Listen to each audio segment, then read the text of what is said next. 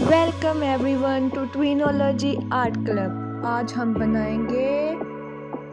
Guitar excited सबसे पहले colour ले लिया है और उसको थोड़ा थोड़ा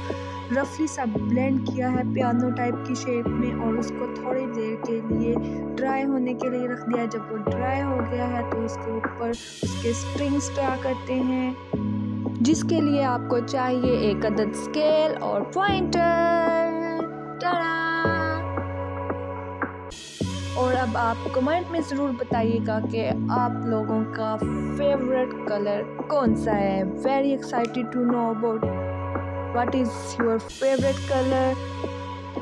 now some made some other part of piano ये I hope you guys like it. If you guys like it, please don't forget to like, share and subscribe. Thank you.